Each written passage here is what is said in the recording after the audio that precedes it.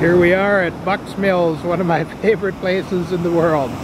You can see why it's gorgeous here. I've been coming here since I was a kid and to watch the walleyes come up and run on the Pelican River.